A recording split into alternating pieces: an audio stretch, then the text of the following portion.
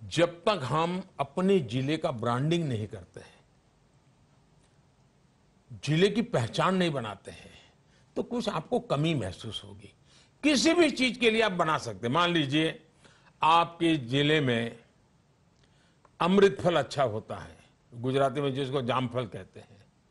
मुझे याद है, गुजरात के अंदर जब भी अमृत फल या जामफल की बात आती थी तो बोले धोलका का है। तो किसी को भी कहा हाँ भाई, धोलका का खाएँ, क्यों? तो उसकी एक पहचान बनी थी। बाद में धोलका के किसानों ने गुलाब की खेती पर मुड़ गए। तो उस पूरे इलाके की पहचान हो गई, भाई, गुलाब कहाँ के? तो उस इलाके के। हर एक ऐसे एक पहचान होती है।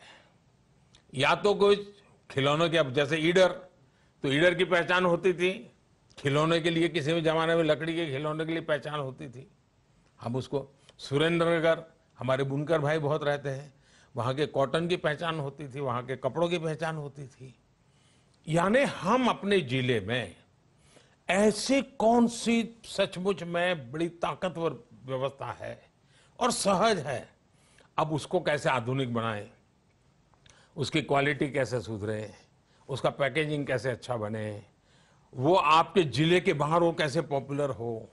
आपका जिला उस बात से कैसे चाहे वो एग्रो प्रोडक्ट हो सकता है, चाहे वो मैन्युफैक्चर का काम हो सकता है, चाहे वो हस्तकला का काम हो सकता है, हो सकता है कोई एजुकेशन इंस्टीट्यूट अच्छी हो।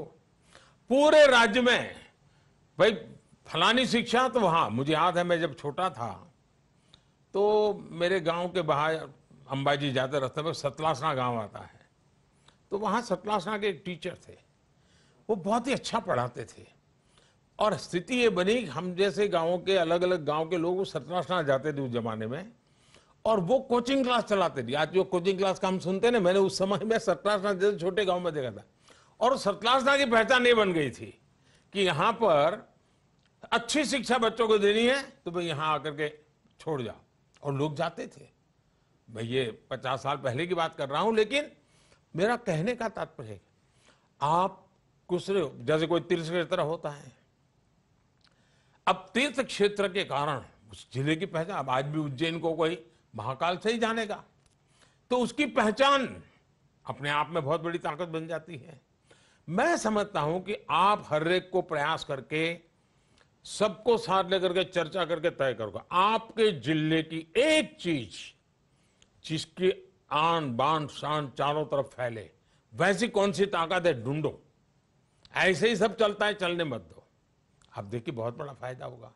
क्या आपका मन ना करे कि आपके ज़िले की चीज़ें दुनिया के बाज़ार में बिके एक्सपोर्ट हो।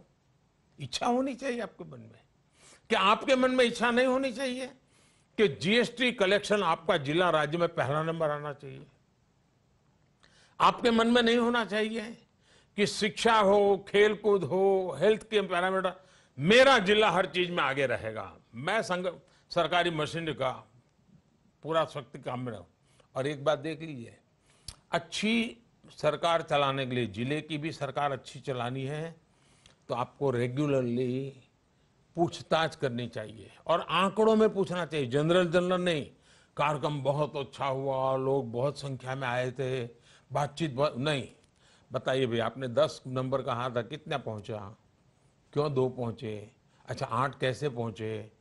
एग्जैक्टली पर जितना जाएँगे आप देखिए ज़िले के काम को बहुत गति दे सकते हैं।